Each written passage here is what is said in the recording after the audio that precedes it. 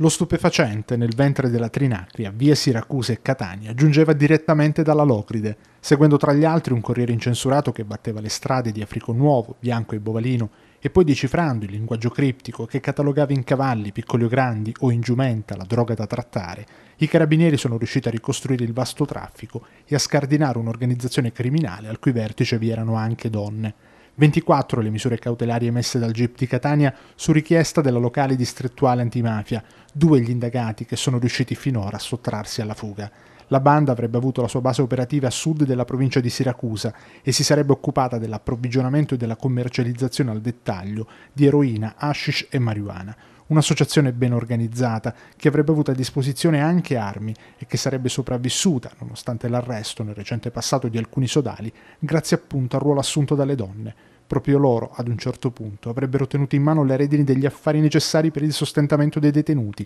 e per assicurare il necessario approvvigionamento della cassa comune.